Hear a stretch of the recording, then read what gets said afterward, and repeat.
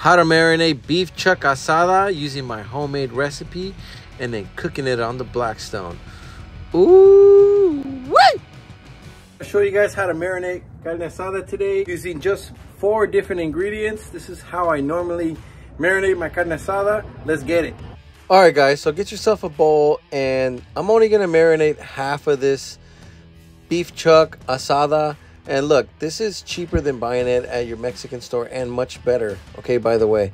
So get yourself some mustard. We're gonna be using mustard as our binder. Go ahead and give this thing a quick toss. And then next, we're gonna be using some soy sauce. I like the flavor of soy sauce. It gives a little salt flavor to it, a little tang and then get yourself some Montreal steak seasoning. If you haven't tried this, it's from Costco as well. It's super good. And then put some Tajín. And if you don't like salty meat, I would put a little less of everything that I just put, put half. But I do like it salty. So let's go ahead and add some paprika. This is what's gonna give us that red, very dark flavor. This is doesn't have too much salt. It's just gonna give it that nice color, all right? I put a little bit more soy sauce because when you start putting the paprika, it starts to uh, get a little too dry. So look, this is the finished product, nice and red. This is a regular one. So look, I cleaned the Blackstone, I oiled it, it's ready to go. So it's nighttime now. I'm gonna go ahead and throw my meat on there. I'm gonna put my red meats on the right, and I'm gonna put my regular meat with no paprika or Tajín on the left.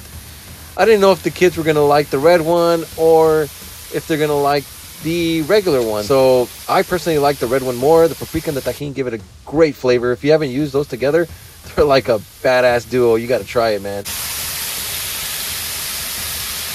We got the two meats cooking. One has more paprika in it, basically, and the other one just doesn't. That's what made it more red. We're gonna try both of them out and let's see which one tastes better. This meat here, it's gonna take about five minutes per side. So it won't be too long before this meat is cooked. We're gonna be making tacos. I'm not gonna show the tacos, I'm just gonna show the meat today. All I wanted to show you guys today is how to marinate carne asada, simple way, in a delicious way. All right, so it's been about five minutes and I'm gonna go ahead and start flipping these things, smelling so delicious. And I'm gonna go ahead and flip the next one and flip the other ones that don't have marinade on them which is just uh, non-paprika and Tajín, really. So at this point, I'm just gonna throw some more oil because sometimes it starts to stick a little bit, but you can just add a little bit of oil and that kind of fixes that. So I'm gonna go ahead and open this thing. These are ready to go. I'm getting pretty excited at this point, and I can't wait to try these things. And let's go ahead and pull them off, put them in some aluminum foil, and let them rest for about a minute or two. All right, guys, the moment of truth. I have the red one. We're gonna try this one out first. Oh. Man.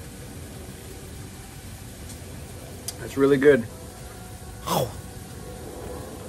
Salty, just like I like it. Let's try the regular one. This is a really good cut of meat. Costco, you can never go wrong. Oh. Man, that's fire. Look at it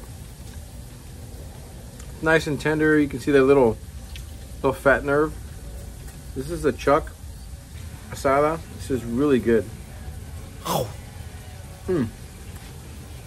Try this recipe out. Let me know if you liked it. I know you will. It's quick and easy.